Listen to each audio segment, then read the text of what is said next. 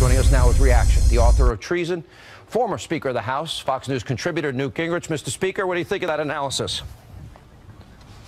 Well, I think you're largely right. I think, you know, Trump could either come very close uh, or he could win by a surprising number of states. Uh, because if you suddenly get a wave effect, there's a poll out, for example, in Minnesota that shows it's 43 41. Uh, if he's within two points of Hillary right now in Minnesota, he has a real shot at carrying the state. Uh, so you start looking around and realizing all this news about Obamacare, and, and, that's what's affecting Minnesota.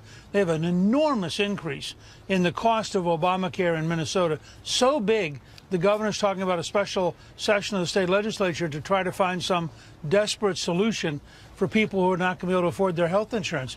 You go state by state, there are a lot of states right now being shaken by the cost of Obamacare, the rising deductibility, and the fact that in a lot of places now, the insurance companies are all leaving. I think there are 600 counties that are down to one insurance company.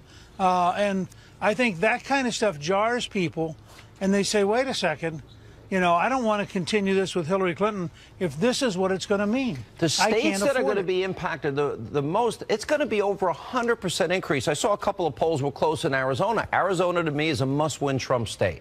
But they're going to have a 100-plus percent increase. The promise was keep your doctor, keep your plan, save $2,500 per family per year. The average family already has seen $4,100 in increase in premiums up to this point.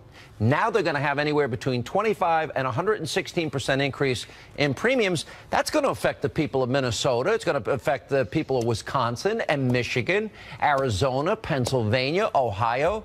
I mean, Florida in particular. You know, the elderly uh, no, on but that, fixed income. I was going to say. I was going to say, Sean, is that's why I think the map you've got can actually be broadened out if people start putting two and two together and realizing uh, all first of all, realizing it's all a lie.